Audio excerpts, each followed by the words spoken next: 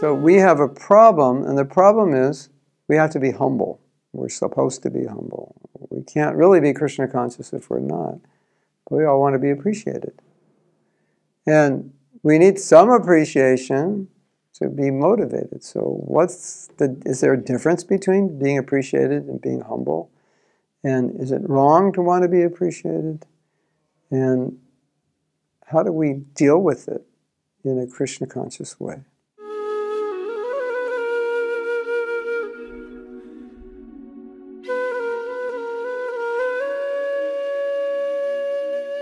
It depends what that appreciation is doing for you and why you want it. And it depends what that praise, how that praise is being taken by you and how it's affecting you. So if you say, well, the appreciation that I want is just to just a kind of encouragement in my service that I'm I'm doing well, that I'm sincere, and and if I know that, if it's confirmed by someone above me, someone I respect, then that becomes a motive for doing my service and inspiration, which, which there's nothing wrong with that. We need in, inspiration. And if that's where you get your inspiration, just from a little pat on the back, encouragement, yeah, you did good. Keep doing it. This is right. This is this will please Prabhupada. Then I think that's natural and it's not really detrimental.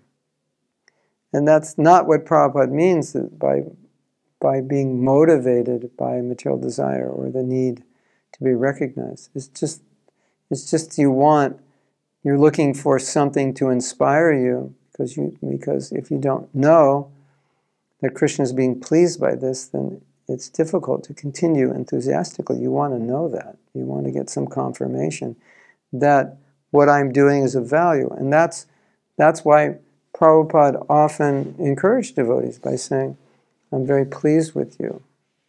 Please continue uh, your services. I'm very happy to hear your report about this or that. And so Prabhupada would say that a lot. And that's, and that's pure encouragement. And that kind of encouragement doesn't make the devotee proud. It just makes him feel like, okay, I'm doing the right thing, I'm on the right track, my spiritual master is pleased, I can continue doing this, or Krishna is pleased. But when I'm doing something solely for the purpose of being recognized, honored, to upgrade my false ego to the next level or upgrade my position in ISKCON to the next level of praise and honor and respect, that's a whole different thing. And so that's how you make this, how you distinguish. Because in the first case scenario, your motive is really just to get feedback that this is the right thing and then encouragement to continue. It's not really motivated by pride. In the second scenario, you actually want to be recognized as a good devotee, as a, as a devotee who's better than others. And, and sometimes you see that with disciples. You know, they're vying for recognition by their guru, and it's not pure. It's like they see, maybe they see affection in that recognition, or they see self worth in that in that praise. But that's not what the devotee wants. The devotee just wants to know that their spiritual master is pleased. He doesn't want to try to artificially get some recognition so he can feel himself better. So that's the point. To feel yourself better than others is dangerous. It's not what Krishna consciousness is. To be encouraged and appreciated is different. It's not going to it's not going to put you in a position where you feel better, just puts you in a position that you know you're doing the right thing. So that's, the, that's how you distinguish it. Appreciation is a very deep human need. You just want, you want to know that your life is of some worth. Is it valuable? That it's valuable, that it has purpose, that there's a reason to get out of bed, that, that what you're doing matters to someone or somehow. If you don't have that, then why even get up and do anything? So often the spiritual master will say, Thank you for this service. I'm very pleased. Please continue.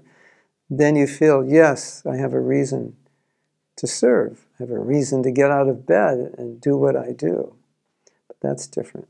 And that's natural. We all want that. We all need that. We all need to know that Prabhupada is pleased, the Vaishnavas are pleased, my Guru is pleased. That, that's natural. But not because we want to be recognized as a better devotee, or not because we want to put ourselves above others, but just because we want to serve, want to be inspired to serve. Hare Krishna.